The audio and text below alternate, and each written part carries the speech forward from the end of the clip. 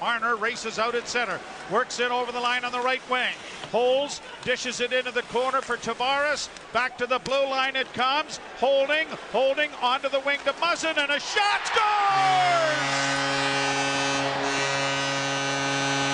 With 13.4 seconds left, a shot by Jake Muzzin manages to elude Thomas Greiss with a good screen in front provided by John Tavares.